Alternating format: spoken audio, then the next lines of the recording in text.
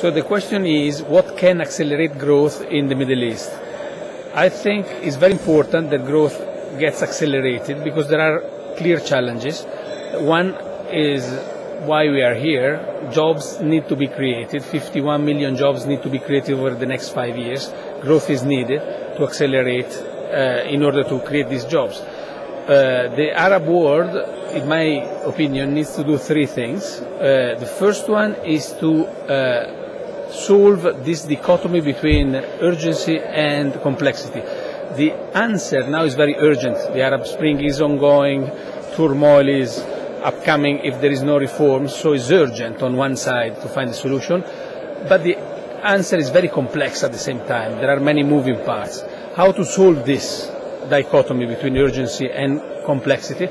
Just sketch out a plan uh, and change revolution into uh, evolution. So basically it requires leadership. The leaders of the Arab world will need to give up some of their powers, uh, sketching out this plan of more democratization of the region, accepting and hearing what the region is saying. And that's the first, the base. Without political uh, will, uh, nothing else will happen.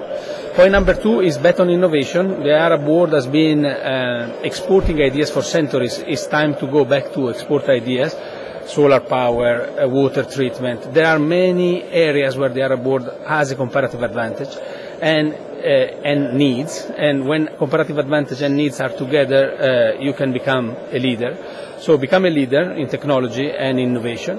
And then point number three, um, export so once you have something the world wants, export it, uh, sell it to Asia. There is no clearer driver of global demand than the Asian internal demand. So target Asia, target uh, now that Europe and the US are uh, softening a bit their growth rate, but still they're going to grow. Uh, target the world through exports. Of course, coordination, policy coordination, harmonization of administrative barriers, uh, trade policy, um, internal infrastructure uh, is needed. Uh, and, uh, and this is very important. And probably everything should be kick-started by heavy infrastructure, infrastructure spending in the, in the MENA region to build uh, highways, railways and energy ways to, to create a more compact region. Thank you very much.